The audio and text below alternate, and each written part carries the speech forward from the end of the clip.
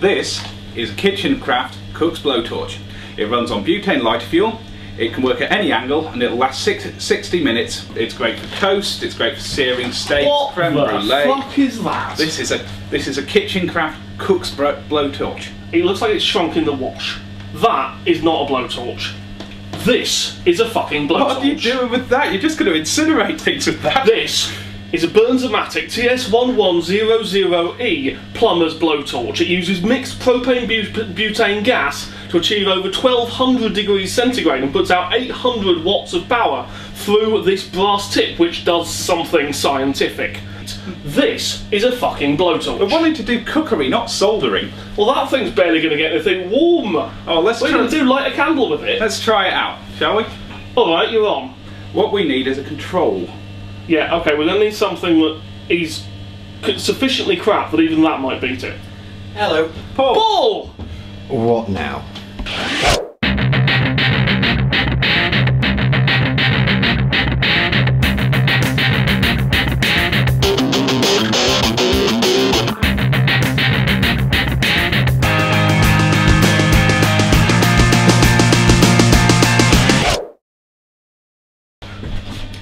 This is the DCNL DC104 pistol grip hairdryer. Do I have to do this? You Oh, yes. really do. Pistol grip is, I'm told, the uh, the most popular form factor for hair drying. Now it um, it operates at a maximum wattage of 1600 watts. Oh, that's more than your blowtorch, Hugh. Yeah, I'm sure it'll outperform it easily. Yep, that's the one with the power. You've got the big Uh-huh. one, Paul. The big masculine pink hairdryer. Yep. Right. I wanted to test our blowtorches by roasting a whole steer on the run, but I was outvoted.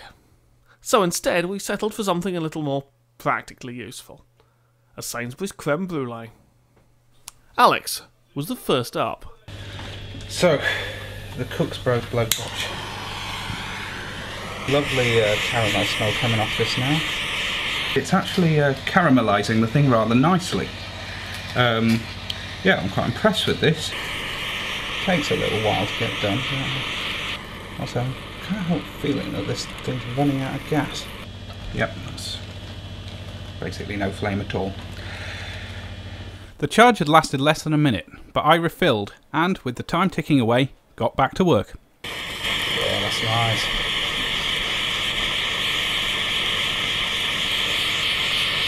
One perfectly caramelised creme brulee. There was no way Hugh's flamethrower was going to beat that. Right, this should be pissy. I've got an actual blowtorch as opposed to the cigarette lighter that Alex was using. Prepare for the power. Now, the, the thing about caramelising sugar is when you're caramelising it, what you're actually doing is breaking it down from sucrose into its component sugars, fructose, and bloody hell, glucose. Um, and the thing is that then, okay, that's caramelising quickly. These are reducing sugars, so they actually re- thank you, I know, recombine to form over 200 different compounds, including esters, and uh, I think we'll just leave that to cool a moment. Um, well, it's caramelising, You've not really got the fine control that you'd had the smaller one. but but it, it's caramelising. That is a quick caramelisation. I think you missed a bit in the corner there. Oh bollocks.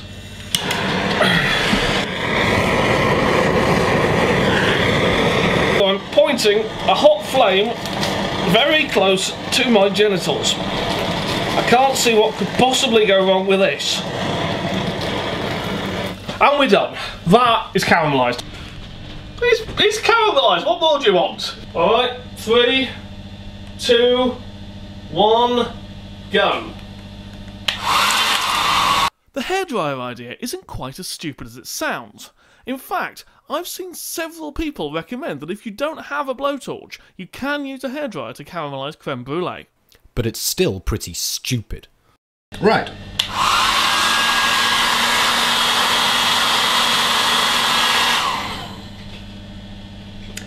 I'm covered in sugar, Hugh. Uh, there's still enough left. Keep going. There's a bit left, right?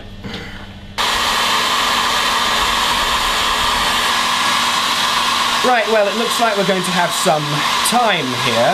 So, interesting story about creme brulee, actually. Um, the scuttlebutt at Trinity College, Cambridge, is that creme brulee was invented there in the 18th century.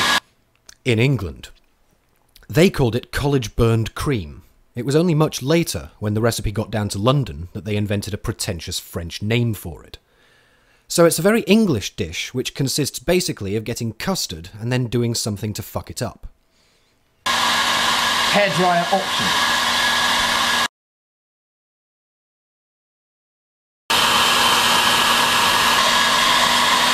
Obligatory Star Trek 2 moment.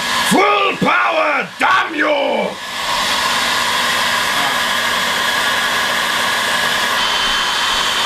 That grain of sugar just there, that one grain is a bit darker than all the others. Is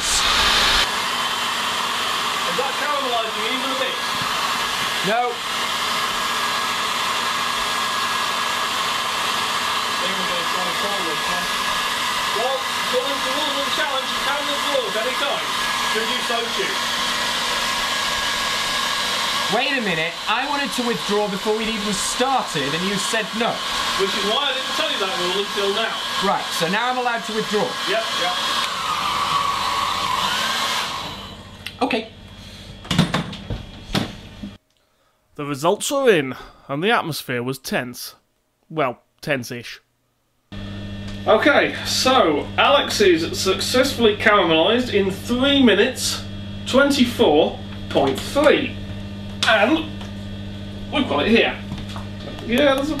Oh, yeah, it, it tinks, it tinks. It's also got a bit of hair in it, but I think I might just drop that in there. Yeah, nice, nice, Mel. Nice. There we go, right. Um,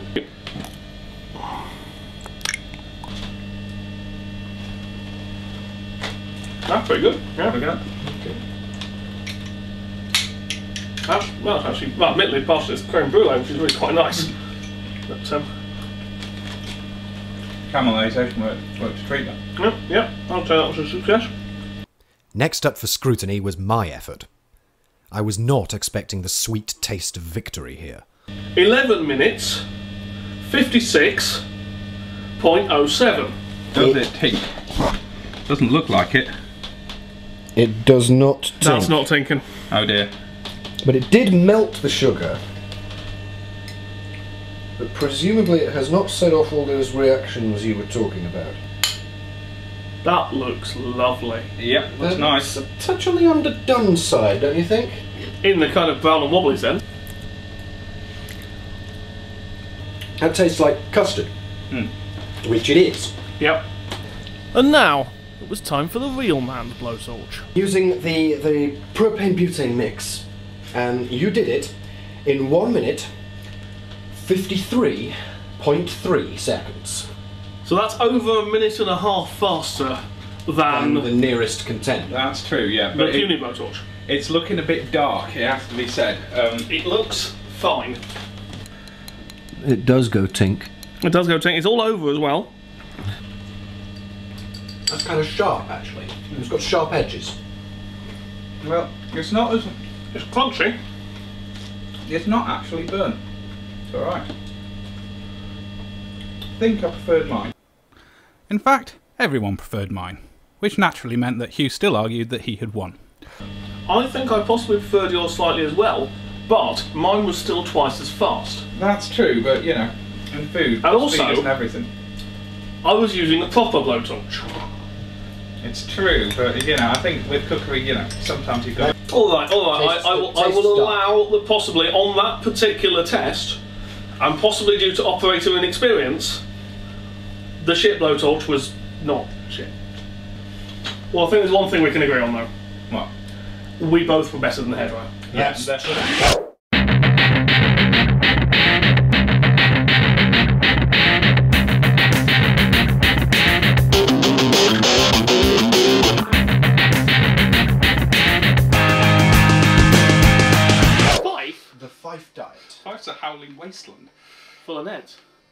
menu here. Monday, breakfast, porridge, Monday lunch, porridge. uh, leek and potato soup, Nice. Well, parsnip soup, carrot soup. And Anyone seeing a theme here?